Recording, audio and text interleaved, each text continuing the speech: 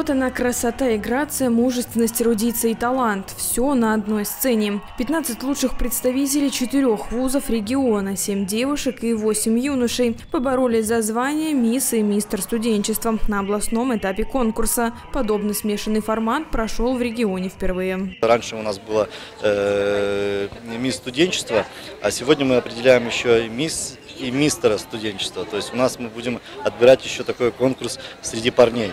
Вот. Но традиционно, конечно, у нас проходят вузовские этапы, то есть э, такие вузовские этапы прошли во всех четырех учебных заведениях.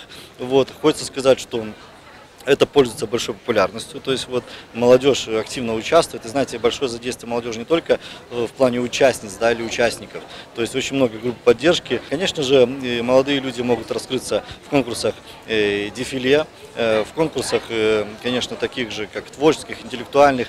Поэтому я уверен, что сегодня будет суперское мероприятие, которое действительно принесет большое удовольствие как и зрителям, так и самим участникам.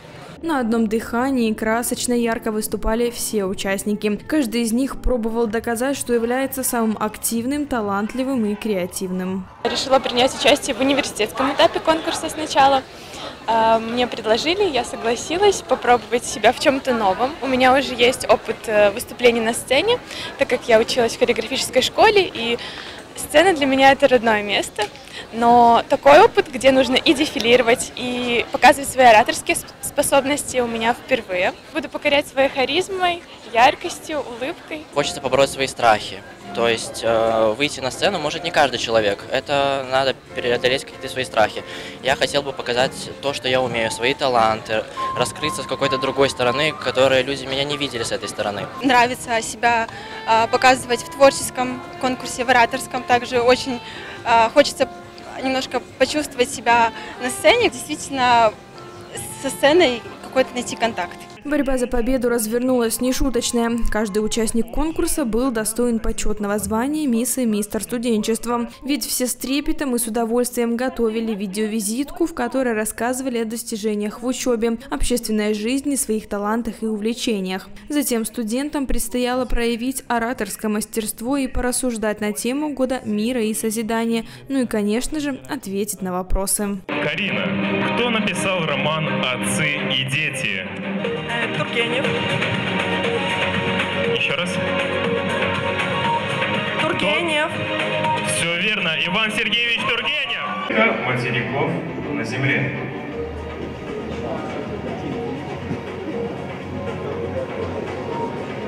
Шесть. Абсолютно правильный ответ. Одним из самых запоминающихся стало творческое испытание. На сцене студенты блистали талантами, показывали себя в ораторском искусстве, пели песни и танцевали.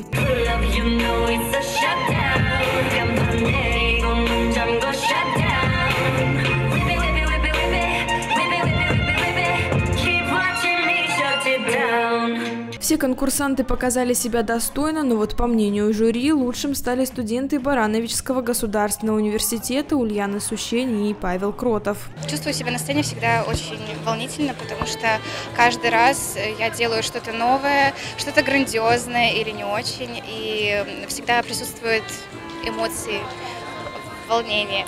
Вот. Решила принять участие наверное, еще на первом курсе, но только вот на третьем попытала удачу и вот прошла сейчас на областной этап, чему очень рада. На самом деле я очень благодарна своему университету, Баргу, потому что там настолько э, хорошая организация всех мероприятий. Они мне помогали, мой э, студенческий совет всячески меня поддерживал, чему я тоже очень благодарна. Я бы без них просто не справилась, мне кажется, я бы без них никуда не дошла, потому что поддержка – это очень важно для меня. Анастасия Мелешкевич, Александр Воронин, Юрий Лимонтович, телекомпания Бук ТВ.